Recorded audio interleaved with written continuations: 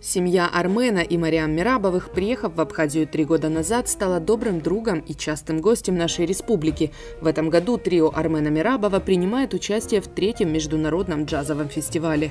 11 июля в Государственной филармонии состоится инструментальный концерт авторского джаза. Специальным гостем станет преобразившаяся звезда джазовой сцены, а также проектов «Голос» и «Три аккорда» на Первом канале Мариам Мирабова. За клавишами Армен Мирабов, ударный Петр Ившин, бас-гитара Антон Горбунов. Горбунов.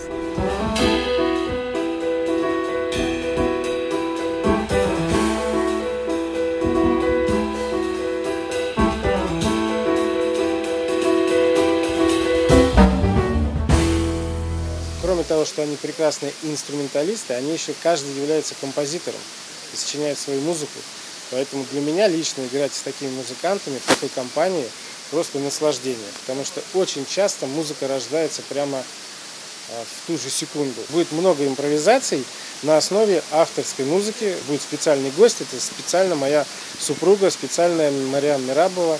Она специально, совершенно неожиданно, секретом выйдет в концерте, и мы специально с ней споем, конечно же, опять-таки нашу авторскую а, композицию, может быть, даже две композиции, а, где музыка моя, слова ее, из нашего проекта «Джаз на русском».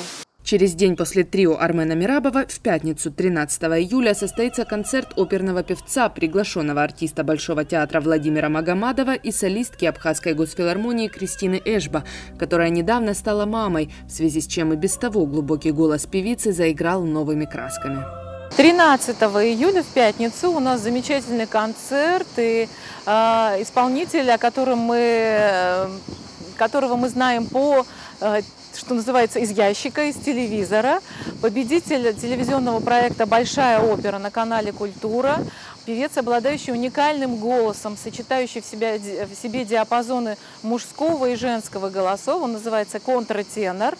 Замечательный, талантливый музыкант Владимир Магомадов. Он впервые в Сухуме на сцене Абхазской филармонии э, он даст совместный концерт с нашей солисткой, э, с блистательной Кристины Эшба, которая уже э, давала нам сольный концерт, радовала своих поклонников и меломанов в прошлом году. В концерте прозвучат арии эпохи барокко в основном, поскольку, в общем-то, контртенор активно э, использовался и применялся именно в те времена. Много музыки написано для контртенора в эпоху барокко композиторами там, той эпохи.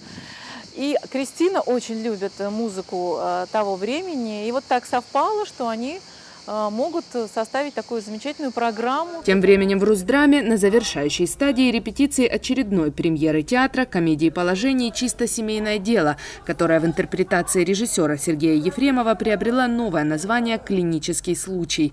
Премьера состоится в следующий вторник, 17 июля. Это пьеса э, знаменитого комедиографа Рэя Куни, который славится своими комедиями положений, пьесы с э, э, лихо закрученным сюжетом, с каскадом, таким фейерверком нелепых ситуаций, в которые попадают герои. И это будет абсолютная, абсолютная комедия, суперкомедия. Задача этого спектакля сделать зрителям приятно, чтобы они отдохнули, посмеялись два часа, получили хорошее настроение. Я уверен, что этот спектакль повторит, если не превзойдет успех спектакля «Примадонны», люди будут ходить на него по много раз. В рамках республиканского гастрольного плана Министерства культуры и охраны историко-культурного наследия Абхазии 13 июля в администрации села Звандрипш, а 14 июля в Ачандаре состоится показ итальянского фильма «Жизнь прекрасна» на абхазском языке. Вход бесплатный. 12 июля труппа Абхазского государственного молодежного театра представит абхазскую интерпретацию итальянской комедии «Человек и джентльмен». Надежда Боровикова, Сосрыку Агуха, Абаза ТВ.